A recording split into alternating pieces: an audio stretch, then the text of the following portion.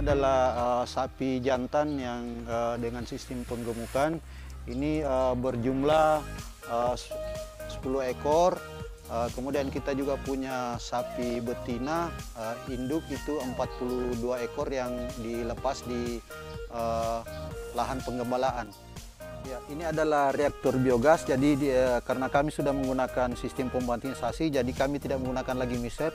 Jadi uh, uh, aliran uh, uh, kotoran ternaknya masuk langsung di uh, pipa, pipa inlet, kemudian uh, akan masuk di uh, reaktor biogas. Dari reaktor biogas ini uh, akan terjadi uh, fermentasi yang akan menghasilkan gas yang dipakai di rumah tangga. Kemudian uh, masuk di sini uh, sebagai manhole manhole manhole-nya. Kemudian uh, masuk uh, bioslurinya uh, keluar. Itulah yang kita gunakan di lahan pertanian, kolam ikan, uh, itik petelur dan kebun rumput.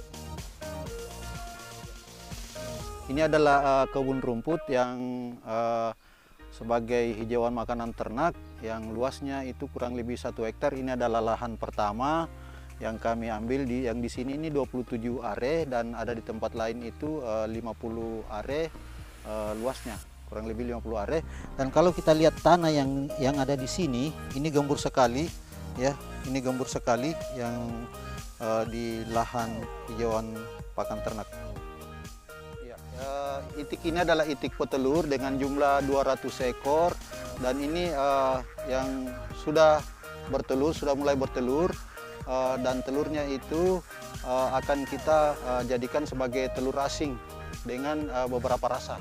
Uh, inilah uh, kolam kita ini ada dua petak dengan luasnya itu satu setengah hektar dan uh, pipa inilah uh, adalah tempat mengalirnya biosluri yang diturunkan di kolam yang menumbuhkan plankton-plankton sebagai uh, pakan ikan.